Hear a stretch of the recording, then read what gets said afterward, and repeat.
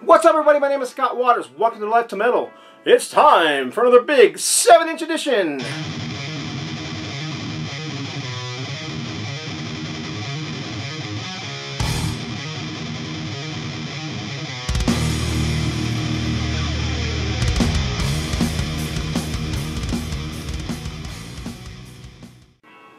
That's right, all 7-inch records, rock and metal updates. Um, this is not all metal, this is a mixture of rock and metal. Some of it's hard rock, some of it's not so hard rock. um, regardless, it's all 7-inch vinyl. So I'm going to start off with some of the not metal stuff. Um, this is a 7-inch uh, UK pressing of Biko by Peter Gabriel. Picked this up when I was out in California for uh, two or three dollars at uh, Amoeba Records, and this one actually has two songs that were um, not released on uh, on the actual album. There's uh, and I can't pronounce either one of these, Shosholoza and Jeds Kom Die Flute. I'm assuming that's German. Um, regardless, I can't pronounce either one of them. So uh, there you go. Biko off the Peter Gabriel 3 album, or Melts, as some people like to call it, on the UK Charisma label. Uh, keeping with the theme with Peter Gabriel, this is Genesis.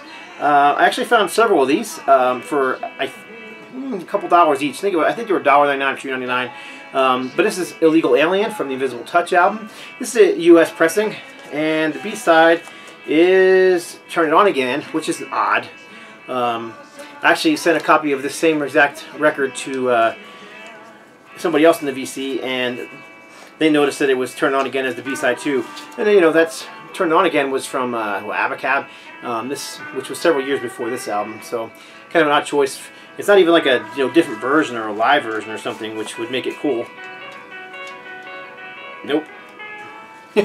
Just a studio version of Turned On Again uh, as the B-side to Illegal Alien. Genesis. What can I say? I'm a big Genesis geek. Keeping on with the Genesis, this is also, this one was like a dollar or two dollars. This is a US pressing of Invisible Touch. And I did this as a promo pressing. The Last Domino and Invisible Touch. And it is a promo pressing, but with a picture sleeve. Um, more Genesis. Again, same record store. This one was $1.99, I believe. This is uh, In Too Deep by Genesis. Um, with I'd Rather Be With You, or I'd Rather Be You um, which is a exclusive song to this 7-inch vinyl, I believe. Well, considering it says unavailable on LP, I would say that's correct. so there you go. Uh, Genesis. So got three for Genesis there, and um, one from Peter Gabriel. All cool finds, all $3 or less at Amoeba Records in uh, Hollywood, California. There's a record store day release. This is um, The Sword with John the Revelator. Of course, John the Revelator being an old gospel blues song. Uh, there's, excuse me, two different versions on here. Uh, the Church House Mix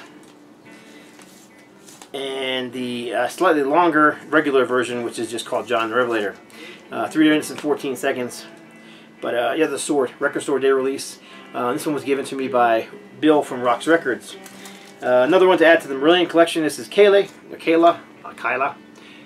Um, and I believe this is a U.S. pressing. Yeah, front cover, back cover, Capitol Records center ring. So my 7-inch Marillion and Genesis collection has taken a huge, huge uh, increase in the past few months. Just keep finding this stuff, you know, inexpensive at different places. Again, this one I found also at uh, Amoeba Records. This one I believe was $2. Um, not a band you ever see 7-inch singles by. Um, this is Come On Frenchy and A-side Nobody Rides for Free off of the second Atlantic album from Dirty Looks. Very cool. Uh, like I said, you don't find Dirty Looks 7-inch singles very often.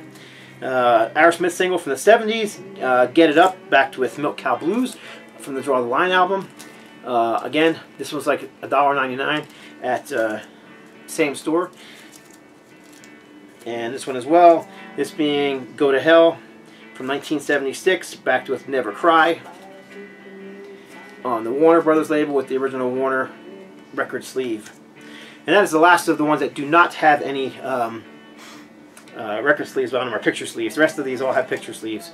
And excuse me if I keep touching my nose, but my allergies are driving me nuts tonight. Yes, my nose itches. uh, Ted Nugent, Little Miss Dangerous, uh, backed with Angry Young Man. And um, he said, you just showed this one not too long ago. I didn't. Um, actually, there's, see if I can dig it out real quick right here.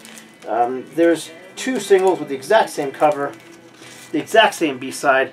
So here you got High Heels in Motion, backed with Angry Young Man. This is a promotional only copy on the light blue Atlantic label. This one is uh, an actual single for Little Miss Dangerous, backed with Angry Young Man. So while they look very similar, you can see there are slight differences in the color and obviously they're different songs. So, they're not the same. And I didn't show them before. and uh, again, I think I, this one was $1.99 Amoeba Records, so I snagged it up. One Nugent Records I've been missing. Uh, this one here, I I think I picked it up at Hastings here in the, in the uh, in Albuquerque um, while my buddy Olaf was here from Germany. Um, price tag says 7.98, but I'm pretty sure I got this in a discount bin or got it for a uh, percentage off. Um, I just been grabbing these as I see them. If they're you know cheap, five bucks or less, I usually grab them. Um, this is Run to the Hills live with Phantom of the Opera live. Phantom of the Opera being from uh, Hammersmith Odeon 84, Run to the Hills Long Beach 85. Uh, and this is one of those first time pressed in the U.S. 7-inch singles. Uh, haven't even opened this one yet, so. Uh, UK pressing for Whitesnake, Standing in the Shadow.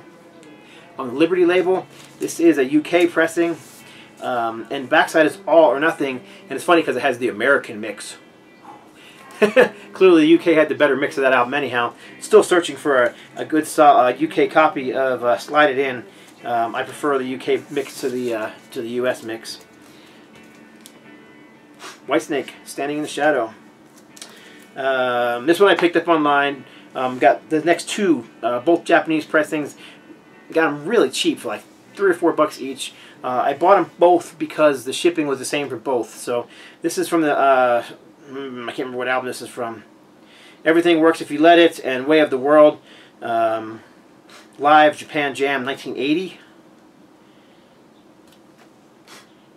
Um, and this is, like I said, Japanese pressing on Epic Records. And then also, Cheap Trick. Tonight it's going to, Tonight it's you. I think this was from like around '85. Backed with Wild, uh, Wild Wild Woman. See if there's a year on here somewhere. Yep, '85. Oh, good guess. Again, another Japanese pressing. So I snagged both these Japanese pressings for, uh, like I said, really cheap. Um, I'm a big Cheap Trick fan, so I was happy to snag them both. Um, I don't actively seek out Japanese pressings on 7 inches, but they are cool if you can find them for a decent price. Uh, might have showed this one in a video before. Picked this one up at the San Diego Heavy Metal Swap Meet for $5. It says 7 but um, bargained on this the, um, 5 because uh, somebody named Ricardo wrote his name on Paul's face. So Ricardo, uh, I have your record. Um, and it's on the uh, you know Casablanca Records and Filmworks uh, label. And this is a German pressing, I believe. Uh, I could be wrong on that.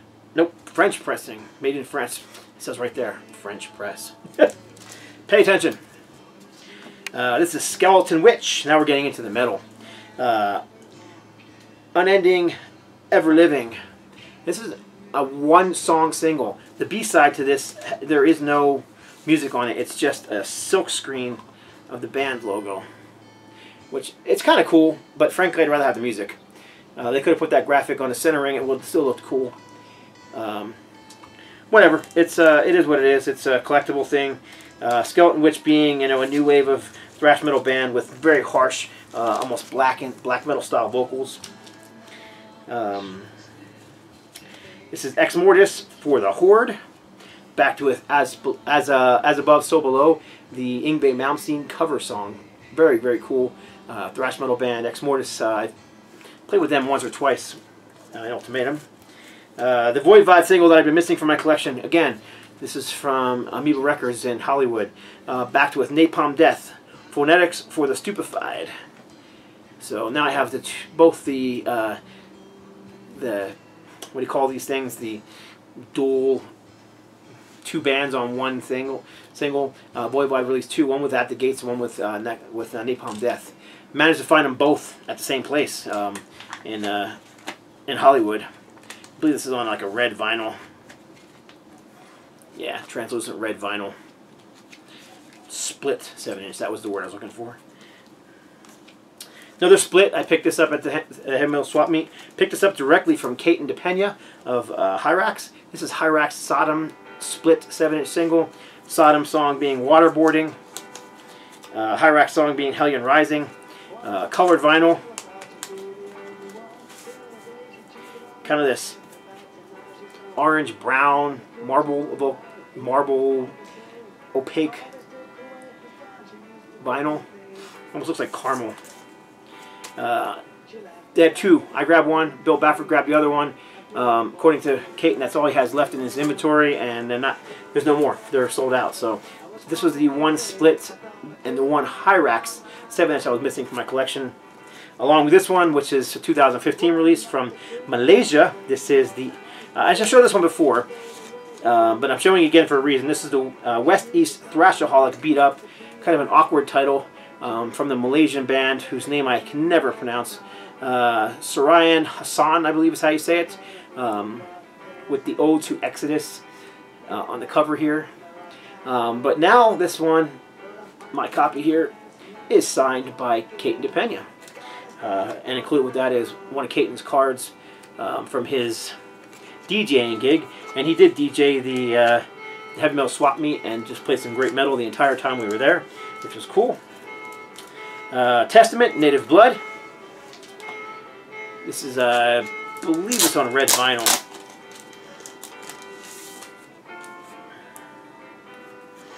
And the B-side is, um, uh, I believe it's the same song. It's just in, in Spanish, or Spanish, I believe. Sangre Nativa. And I actually haven't spun this one yet. I just recently received this in the mail. And yeah, this is on a Fire Engine Red blood red, whatever, vinyl. Testament, Native Blood. Pick, I did pick this one up on um, on eBay for five bucks. This one was in the delete bin at uh, uh, at that same store, Amoeba Records in Hollywood.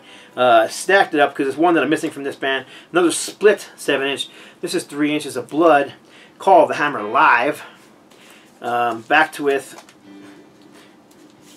Actually, that's actually they are the B side. The A side is Bob Wayne. Everything's legal in Alabama. Um, not a big fan of the Bob Wayne. They did play this track. It's kind of a, I don't know what you call that stuff. Southern, Southern hillbilly rock. Uh, I don't know. Um, I like the Hammerfall song. Uh, unfortunately, I hate the Hammerfall intro. Um, that's on there. It just annoys me to no end. But um, still, I collect anything three inches of blood, so I'm glad to have this live split single in my collection. And let me see, that might be it. I believe that is it. Is that it? Is that it? Yes, everything else I've shown. So that's it. That is my 7-inch uh, update for uh, this month.